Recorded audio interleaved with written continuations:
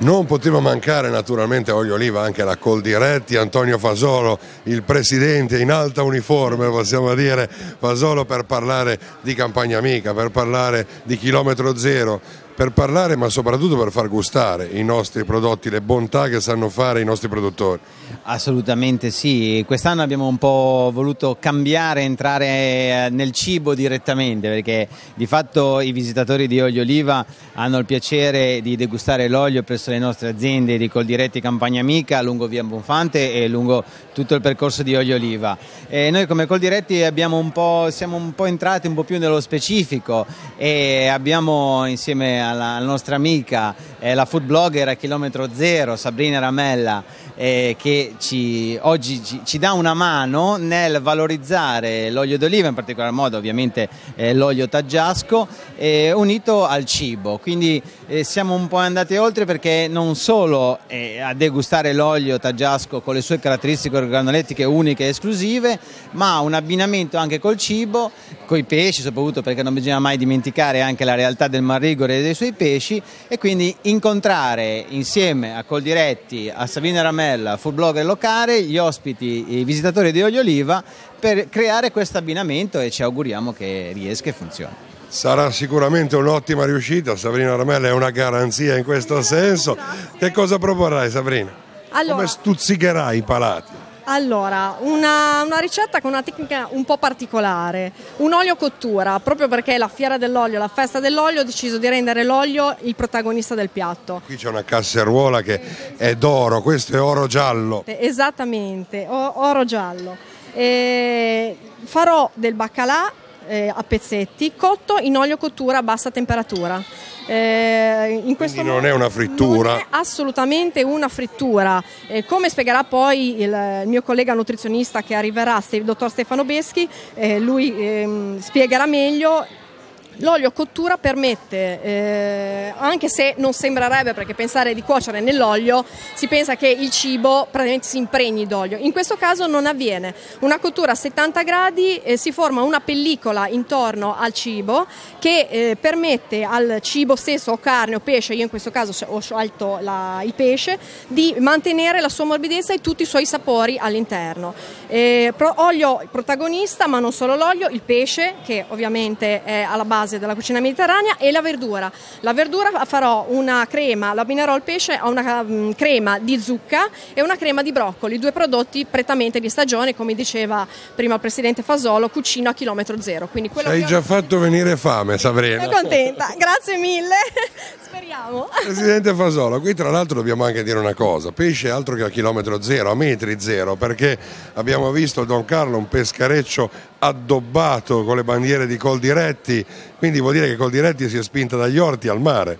Sì, si è spinta dagli orti al mare con Wake Up, eh, è nata qualche anno fa, abbiamo iniziato a entrare nel mondo della cooperazione, delle cooperative, e in Liguria ovviamente la cooperativa è una realtà estremamente importante sia per i servizi ma anche eh, nella pesca. Eh, abbiamo iniziato la collaborazione col Don Carlos ma con altre barche in tutta la Liguria per anche riscoprire anche il pesce che è un po' dimenticato perché i nostri mari sono estremamente ricchi, i pescatori sostanzialmente hanno un po' gli stessi problemi dell'impresa agricola, cioè il famoso saltare i passaggi per riuscire comunque a vivere e avere un reddito dignitoso quindi a poter mantenere la famiglia. Quindi questa vendita diretta che è nata dal mondo dell'agricoltura l'abbiamo proposta ai nostri pescatori e l'hanno accolta benevolmente e adesso abbiamo iniziato un percorso e con l'occasione anche e soprattutto a far riscoprire i pesci dimenticati di cui i nostri mari sono ricchi.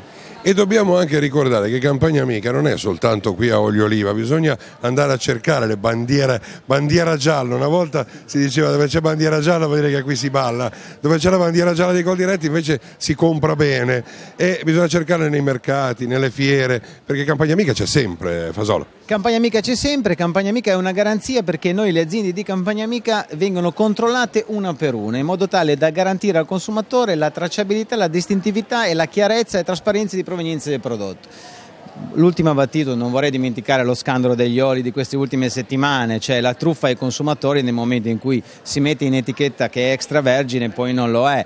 Che ci ha ferito in modo particolare perché oggi il marchio Sasso non è più in Periese, è finito in Spagna, va bene le indagini sono in corso, si vedrà quello che sarà, non vogliamo fare i processi prima, però sentire che un marchio che era nostro, che è nato qui nella nostra Oneglia, è coinvolto in questa situazione ci ha feriti in modo particolare, anche perché facciamo di tutto qui, fate di tutto voi per far capire la verità del prodotto, quello che c'è nella bottiglia che deve essere vero, sincero e tutto questo fa veramente del male, però forse può far capire, può aiutare a dire cerchiamo proprio le cose vere, le cose genuine, non le cose per forza belle, con grandi etichette, con tanta pubblicità, investimenti di miliardi.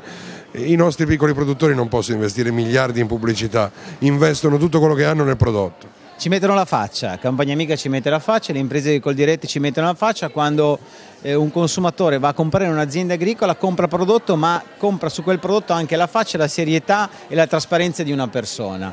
Questo è estremamente importante. È ovvio che spiace per un marchio imperiese, però vorrei anche ricordare che le aziende agroalimentari imperiesi tuttora sul territorio sono aziende leader, sono aziende trasparenti, sono aziende corrette e che diciamo, vanno un po' a recuperare questo gap che si è formato. E io vorrei anche ricordare che è brutto dire ve l'avevamo detto, ma con Antonio Fasolo abbiamo una volta addirittura provocatoriamente fatto anche una bancherella dove c'erano taggiasche impossibili che di taggiasche non avevano proprio nulla, manco in cartolina l'avevano visto. C'era il parmesan addirittura che un che formaggio sarà stato non lo sappiamo, non lo vogliamo neanche sapere, cioè sono anni che voi continuate a dire stiamo attenti perché qui ci imitano, ci imitano pure male, quindi ci fanno male due volte.